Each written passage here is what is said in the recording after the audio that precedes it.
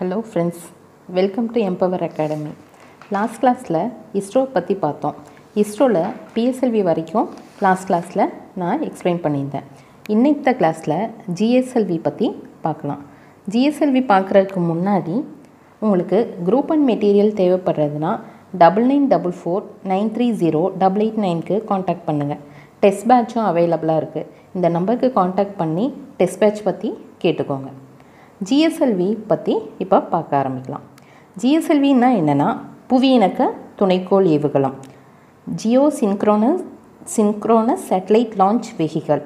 இது எதுக்காக தொடங்கினாங்க? இதோட நோக்கம் என்னென்னா புவிநிலை இடைப்பாதையில் துணைக்கோளை செலுத்துறதுக்காக ஜிஎஸ்எல்வி வந்துட்டு உருவாக்குனாங்க.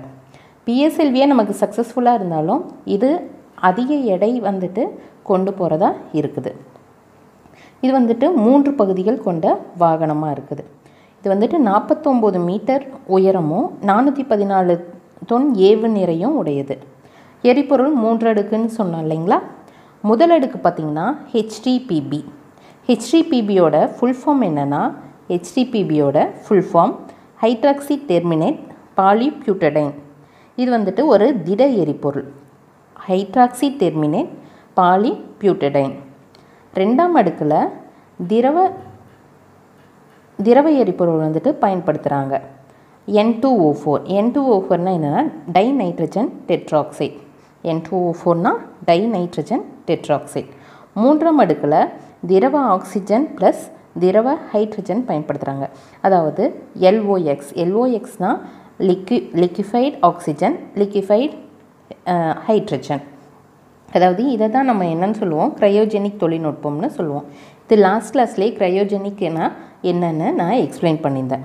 க்ரையோஜெனிக்னா என்ன அர்த்தம்னா அதிகுளிர்விக்கப்பட்ட நீர்மை எரிபொருள்னு அர்த்தம். அடுத்தது இதோட சிறப்புகள். ஜிஎஸ்எல்வி எதுக்காக யூஸ் பண்ணுறோன்னா இந்தியாவின் முதல் க்ரையோஜெனிக் என்ஜின் பொருத்தப்பட்ட ஏவு வாகனம். இதில் வந்துட்டு பிஎஸ்எல்வியில் கம்மி எடை கொண்ட போ ராக்கெட்டை தான் வந்துட்டு எடுத்துகிட்டு போச்சு. செயற்கைக்கோள்களை தான் எடுத்துகிட்டு போச்சு. இதில் வந்துட்டு ரெண்டு டன்லேருந்து அஞ்சு டன் வரையில் எடை கொண் எடையை வச்சு நம்ம விண்ணில் ஏவலாம். இதில் வந்துட்டு மெயினாக தகவல் தொடர்பு செயற்கைக்கோள்கள் விண்வெளிக்கு மனிதனை அனுப்புகிற போன்ற திட்டங்களெல்லாம் இதில் ஜிஎஸ்எல்வியில் பண்ணலாம். இதில் மொத்தமாக எத்தனை ஏவுதல்கள் ஏவுதல்கள்னால் என்னென்னா எத்தனை லான்ச் பண்ணியிருக்காங்க அப்படின்னா பதிமூணு ஏவுதல்கள் பண்ணியிருக்காங்க. ஃபஸ்ட்டு ரெண்டும் வந்துட்டு ஒரு சோதனை பயணமாக தான் இருந்திருக்கு. சோதனை பயணம் ஆனால் அது ரெண்டுமே வெற்றி அடைஞ்சிருக்கு. அதாவது GSLV MK one D one GSLV MK one D two இது வந்துட்டு மேம்பாட்டு பயணங்கள் அதாவது ரெண்டாயிரத்தி ஒன்று ரெண்டாயிரத்தி மூணில் நடைபெற்றது. அடுத்தது அதோட முதல் பயன் தரத்தக்க பயணம். முதல் பயன் தரத்தக்க பயணம் எப்போன்னா இருபது ஒம்பது ரெண்டாயிரத்தி நாலு அன்னைக்கு ஜிஎஸ்எல்வி எஃப் ஒன்னால் மேற்கொள்ளப்பட்டது. அதில் எந்த சேட்டலைட்ஸ் வந்துட்டு எடுத்துகிட்டு போனாங்கன்னா எஜு ஷேர் எஜு சேட் தொடர்பு துணைக்கோள் வந்துட்டு செலுத்தப்பட்டது. இதில் இருக்கிற ஜிஎஸ்எல்வியோட பயணம் எப்பயுமே எங்கன்னா ஸ்ரீஹரிஹோ ஸ்ரீகர் ஸ்ரீஹரிகோட்டாவில் சதி சதீஷ் சதீஸ்தவான் விண்வெளி மையத்திலேருந்து ஏவப்படும். இந்த பதிமூணில் ரெண்டு இது வந்துட்டு டெஸ்டிங் இதுன்னு சொல்லிட்டேன். அதில் எட்டு வந்துட்டு வெற்றி மூன்று வந்துட்டு தோல்வி அடைஞ்சிருக்குது. ஜிஎஸ்எல்வியோட சாதனை பார்த்தாங்க பார்த்தோன்னா இதை ஒரு ஆறாவது இதில் வந்துட்டு ஜிஎஸ்எல்வி டி ஃபைவ்ல வந்துட்டு அஞ்சு ஒன்று ரெண்டாயிரத்தி பதினாலு அன்னைக்கு இது செலுத்தி சாதனை. என்ன இதில் சாதனைனா க்ரையோஜெனிக் தொழில்நுட்பம் வந்துட்டு முதல் முதல்ல அப்போ தான் நம்ம இந்தியாவில் உள்நாட்டு தயாரிப்புலேயே பயன்படுத்தினாங்க. இந்தியா க்ரையோஜெனிக் பயன்படுத்துறதுல ஆறாவது இடத்துல உள்ளது. நம்ம இதில் mark one MK one MK டூன்னெல்லாம் சொல்கிறோம் இல்லைங்களா? அப்படின்னா என்ன அர்த்தம்?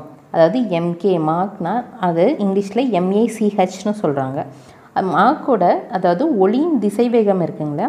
The three thirty two metre per second அதை வந்துட்டு கிலோமீட்டரில் இது பண்ணுறப்ப thousand two hundred and thirty five kilometre per hour ஆயிரத்தி இரநூத்தி முப்பத்தஞ்சு கிலோமீட்டர் அதாவது ஒரு மணி நேரத்துக்கு இவ்வளோ இவ்வளோ கிலோமீட்டர் வேகத்தில் போகுதுன்னு அர்த்தம். இப்போ எம்கே ஒன் ஸ்பீடுன்னு போட்டிருந்தாங்கன்னா ஆயிரத்தி இரநூத்தி முப்பத்தஞ்சு கிலோமீட்டருக்கு போகுது. எம்கே டூனா ரெண்டாயிரத்தி நானூற்றி எழுபது கிலோமீட்டருக்கு போகுது. இது தோராயமாக சொல்கிறாங்க அதில் தான் அடுத்தது எம்கே த்ரீ வந்துட்டு கண்டுபிடிச்சாங்க. ஜிஎஸ்எல்வி லான்ச்சஸ் வந்துட்டு லாஸ்ட்டாக வந்துட்டு எப்போ இது பண்ணாங்கன்னா ரெண்டாயிரத்தி பதினெட்டில் வந்துட்டு அந்த லான்ச் பண்ணாங்க. அதோட டீட்டெயில்ஸ் வந்துட்டு இதில் கொடுத்துருக்கேன். இது பார்த்தீங்கன்னாவே தெரியும். இதோட லிங்க் எல்லாமே டிஸ்கிரிப்ஷன் பாக்ஸில் இருக்கும். நீங்கள் வந்துட்டு பிடிஎஃப் வேணும்னா அதில் அவங்கள்ட்ட கேட்டு டவுன்லோட் பண்ணிக்கோங்க. அடுத்தது GSLV mark three GSLV mark த்ரீனா என்னென்னா அதோட ஜிஎஸ்எல்வியோட மேம்பட்ட வடிவம் தான் என்னது? ஜிஎஸ்எல்வி மார்க் த்ரீ இது வந்துட்டு இப்போ எல்லா இதுலேயுமே வந்துட்டு இதை தான் பயன்படுத்துகிறாங்க ரெண்டு மெட்ரிக் டனுக்கு ஜிஎஸ்எல்வியில் ரெண்டு மெட்ரிக் டனுக்கு உள்ளார தான் வந்துட்டு பயன்படுத்தினாங்க. ஜிஎஸ்எல்வி மார்க் த்ரீயில் என்னென்னா ரெண்டு மெட்ரிக் டன்னுக்கும் அதிகமாக எடை கொண்ட தகவல் தொடர்பு மற்றும் புவி கண்காணிப்பு செயற்கைக்கோள்களை செலுத்த வந்துட்டு பயன்படுது. முன்னாடியெல்லாம் நம்ம என்ன பண்ணோன்னா ஐரோப்பிய விண்வெளி ஆணையத்தின் ஏரியன் வகை ராக்கெட்டில் தான் இந்தியா நம்பியிருந்தது. அதனால் அவங்களுக்கு நிறைய நிதி கொடுக்க வேண்டியதாக இருந்தது.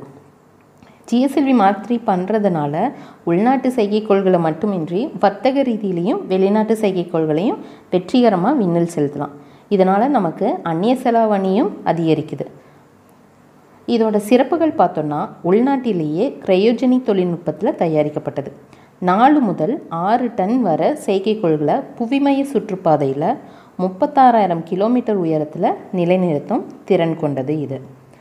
அடுத்தது பத்து டன் எடையுள்ள செயற்கைக்கோள்களை புவியின் தாழ்வட்ட பாதையில் நிலைநிறுத்துறதுக்கு பயன்படுது. இதுலேயும் மூணு கட்ட எரிபொருள் கொண்டது. திட திரவ அதிகுளிர்விக்கப்பட்ட நீர்ம எரிபொருள். அதிகுளிர்விக்கப்பட்ட நீர்ம எரிபொருள்னாவே என்ன அர்த்தம்னா கிரையோஜெனிக்னு தான் அர்த்தம். இதோட ஏவுதல்கள். குரூப் மார்க் த்ரீயில் வந்துட்டு ஏவுதல் வந்துட்டு முக்கியமாக மூணு இது. முதல் சோதனை வந்துட்டு சோதனை ஓட்டமாக வந்துட்டு டிசம்பர் பதினெட்டு ரெண்டாயிரத்தி பதினேழு அன்று செலுத்த செலுத்தப்பட்டது. அடுத்தது ஃபஸ்ட்டு ஃபஸ்ட்டு லான்ச் பண்ணது சக்ஸஸ்ஃபுல்லாக லான்ச் பண்ணது எப்போன்னா ஜூன் ஃபைவ் ரெண்டாயிரத்தி பதினேழு அன்று GSLV mark three D one GSAT nineteen GSLV mark three D one GSAT nineteen வந்துட்டு மூணு டன் எடை கொண்ட அதிநவீன தொழில்நுட்ப செயற்கைக்கோளை முப்பத்தாறாயிரம் கிலோமீட்டர் உயரத்தில் நிலைநிறுத்தியது. அடுத்தது ரெண்டாவது பயணமாக GSLV mark three D two GSAT twenty nine. GSLV mark three D two GSAT இருபத்தொம்போது செயற்கைக்கோள் செலுத்தப்பட்டது. வரலாற்றின் மிக முக்கியமான ரொம்ப ரொம்ப இம்பார்ட்டண்ட்டான நம்ம இந்தியாவுக்கு பெருமைப்படுத்தினது என்னதுன்னா சந்திராயன் டூ. சந்திராயன் டூவும் வந்துட்டு எதில் பண்ணாங்கன்னா ஜிஎஸ்எல்வி மார்க் த்ரீயில் தான் அனுப்புனாங்க. சந்திராயன் டூ வந்துட்டு எப்போ அனுப்புனாங்கன்னா ஜூலை இருபத்தி ரெண்டு ரெண்டாயிரத்தி பத்தொம்போது அன்று செலுத்தப்பட்டது. சந்திராயனுக்குன்னு நான் உங்களுக்கு தனியாக வீடியோ நெக்ஸ்ட் டைம் போடுறேன். சந்திராயன் டூ ஜூலை இருபத்தி ரெண்டு ரெண்டாயிரத்தி பத்தொம்போதில் நி நிலவை ஆராய் ஆராய்ச்சி செய்யறதுக்கு அனுப்புனாங்க. நிலவோட தரைப்பகுதியிலேயே இறங்கி ஆராய்ச்சி நடத்துகிற மாதிரி ரோவர் வந்துட்டு இடம்பெற்றது. அடுத்தது இந்த இதோட ஜிஎஸ்எல்வி மார்க் த்ரீ லான்ச்சஸோட இதோட டீட்டெயில்ஸ் வந்துட்டு கொடுத்துருக்கேன். அடுத்தது இதோட எதிர்கால திட்டம் என்னென்னா எதிர்கால முக்கியமான திட்டம் என்னென்னா ககன் ககன்யான் ககன்யான்னாவே என்னென்னா வெளிநாட்டுகள் விண்வெளிக்கு சாரி விண்வெளிக்கு மனிதர்களை அனுப்பும் திட்டம் தான் விண்வெளிக்கு மனிதர்களை அனுப்பும் திட்டத்து பேர் தான் ககன்யான் இதுக்கு முன்னாடியும் போனது இல்லையா அப்படின்னு கேட்டால் போயிருக்கோம். ஆனால் நம்ம வேறு நாட்டு மூலிமா தான் போயிருக்கிறோம். முதல் முறையாக உள்நாட்டு தயாரிப்பிலேயே அனுப்புறதுக்காக ஏற்பாடு பண்ணுறாங்க இந்த திட்டம் வந்துட்டு எப்போ ஃபஸ்ட்டு ஃபஸ்ட்டு லான்ச் பண்ணுறாங்க அனௌன்ஸ் பண்ணுறாங்கன்னா ஆகஸ்ட் பதினஞ்சு ரெண்டாயிரத்தி பதினெட்டு அன்னைக்கு நரேந்திர மோடி திரு நரேந்திர மோடி அவர்கள் சுதந்திர தின உரையில் அறிவிக்கிறாரு. இந்த திட்டம் மட்டும் சக்ஸஸ்ஃபுல்லாக அம் அமைஞ்சதுன்னா செயல்படுத்தப்பட்டுச்சுன்னா அமெரிக்கா ரஷ்யா சீனாவுக்கு அடுத்து நம்ம நான்காவது இடத்துல இருப்போம். இதோட நிதி ஒதுக்கீடு வந்துட்டு பார்த்தோன்னா பத்தாயிரம் கோடி வந்துட்டு நிதி ஒதுக்கீடு செஞ்சுருக்காங்க. இது வந்துட்டு எவ்வளோ எடை கொண்டு போகுதுன்னா மூணு புள்ளி ஏழு டன் எடையுள்ள விண்கலம். இதில் மூணு பேர் வந்துட்டு இந்த சுற்றுப்பாதைக்கு தேர்ந்தெடுக்கப்படுறாங்க மூன்று பேர் சுற்றுப்பாதைக்கு சென்று புவிக்கு திரும்பக்கூடிய வகையில் வடிவமைக்கப்பட்டது. ஏழு நாள் வரைக்கும் இது சுற்றுப்பாதையில் இருக்கும். தேங்க்ஸ் ஃப்ரெண்ட்ஸ் நெக்ஸ்ட் வீடியோவில் டைப்ஸ் ஆஃப் சேட்டலைட்ஸ் பற்றி பார்க்கலாம். குரூப் அண்ட் மெட்டீரியல் வந்துட்டு தேவைப்படுதுன்னா நீங்கள் double nine double four nine three zero double eight நைன்கிற நம்பருக்கு காண்டாக்ட் பண்ணுங்கள் நமக்கு வாட்ஸ்அப் மூலியமாகவும் டெலிகிராம் மூலியமாகவும் உங்களுக்கு அந்த லிங்க் வந்துட்டு அமுச்சுடுவாங்க. Thank you friends